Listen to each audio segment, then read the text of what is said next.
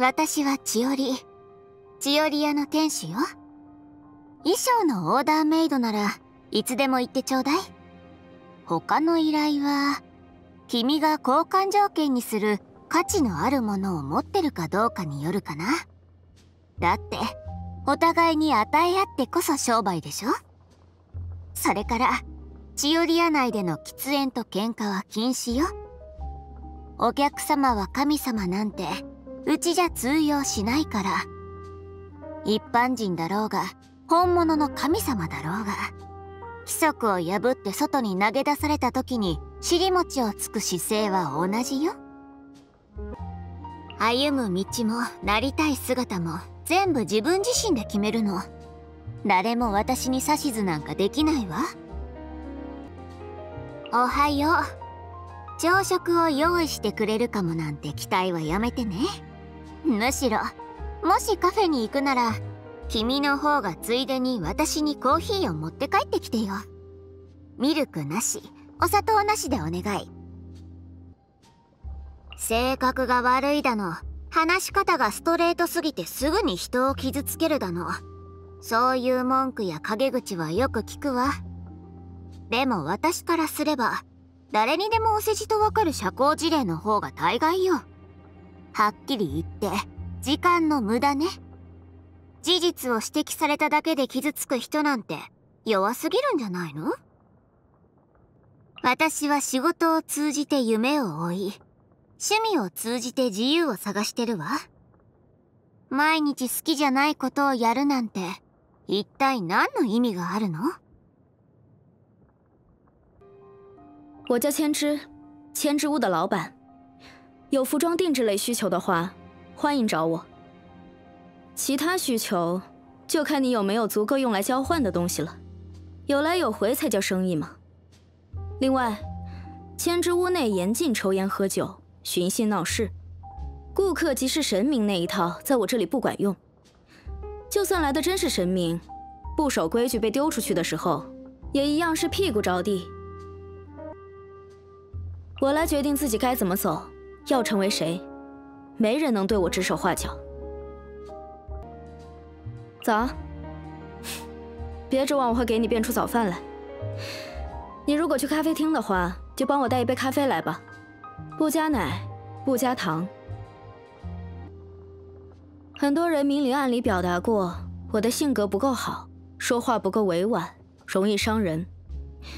依我说，那种谁都看得出来的寒暄、客套和恭维，才是在浪费彼此的时间吧。要是挑明事实就会受伤，那人也太脆弱了。我在工作中追寻梦想，在爱好中探索自由。如果我每天做的事不是自己热爱的，那还有什么意思？난치오리야치오리부티크의사장이지맞춤제작이필요하면언제든찾아줘 그 외의 요구사항은 네가 충분한 대가를 치를 수 있는지에 달렸지 비즈니스는 주고받는 거니까 아 그리고 치오리 부티크에서는 흡연과 음주 일체의설원행위를 엄격히 금지하고 있어 손님은 왕이다 같은 말은 여기서 통하지 않아. 가게 규칙을 지키지 않으면 설령 진짜 신이더라도 꼴사납게 쫓겨날 거야. 내 길은 내가 정해. 누구도 나한테 이리라 저리라 할 수 없어. 좋은 아침. 내가 아침을 준비해줄 거란 기대는 하지 말고. 아, 혹시 카페에 갈 거면 커피 한 잔 부탁해. 우유랑 설탕은 빼고. 사람들은 내가 성격도 안 좋고 말투도 공격적이고 쉽게 상처를 준다더라. 근데 말이야, 뻔한 인사치레나 가식적인 칭찬 따위로 시간을 낭비해야 할 이유가 뭐야? 사실을 말해서 상처받는다면 그건 그 사람이 너무 연약한 거지. 난 일 속에서 꿈을 쫓고 취미 속에서 자유를 추구해. 내가 매일 하는 일이 좋아하는 일이 아니라면 거기에 무슨 의미가 있겠어? I am Chiori, the owner of Chioria Boutique. Feel free to find me if you'd like to commission any tailor-made outfits. As for any other requests, it all depends on whether you have enough to offer in exchange. Just the rules of the business.